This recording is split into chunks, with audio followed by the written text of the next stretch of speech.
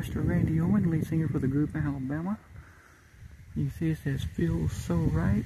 You got a lot of people here, so I'm trying to be quiet, not be rude. Beautiful, beautiful area. Got a big bar and everything out back, tennis court and all that, but you can't see it from here, and we're not going to drive up on anybody else's property, plus they got a gate. well, we wouldn't do that anyways, but they got another gate out back, but we really can't show you that, but it is really pretty. Few vehicles in the yard. And I don't want to get too close because there might be having company today.